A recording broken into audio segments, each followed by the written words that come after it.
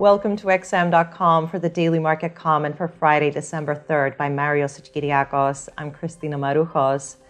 The U.S. employment report for November will dominate trading in financial markets today as investors grapple with whether the Fed will speed up the tapering process. Non farm payrolls are projected to clock in at 550,000, pushing the unemployment rate down one tick to 4.5%. Wage growth is expected to have accelerated slightly. Labor market indicators were quite encouraging during the month, so the tea leaves point to another solid report that is more or less in line with the forecasts.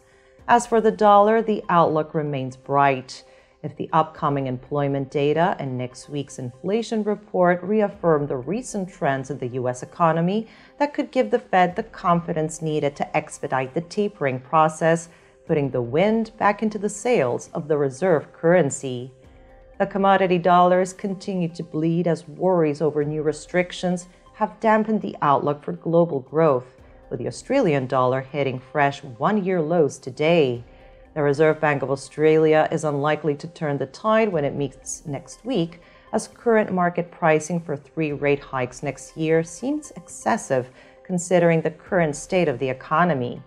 Sterling has suffered a similar fate since Omicron entered the equation. The euro initially found some relief as energy prices cooled, yet the recovery looks shaky when new restrictions threaten to hamstring economic growth.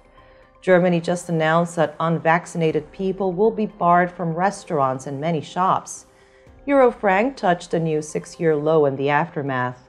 The Swiss National Bank is almost certainly intervening to smoothen the descent, but it may need to roll out even bigger guns if it wants to change the course of this battle. The mood in equity markets improved yesterday as bargain hunters came out in force, pushing the S&P 500 higher by 1.4%. That said, the environment could remain challenging until traders figure out exactly what Omicron means for riskier plays heading into the year end. Oil prices spiked lower after OPEC decided to stick to its planned production increases, but bounced back in the following hours as risk appetite improved to close the session higher overall. Gold refuses to participate in the volatility, grinding lower instead. The bulls are now praying that next week brings another U.S. inflation surprise that sends investors scrambling for hedges and chases the blues away from bullion. This was the daily market comment here at XM.com. Have a great weekend.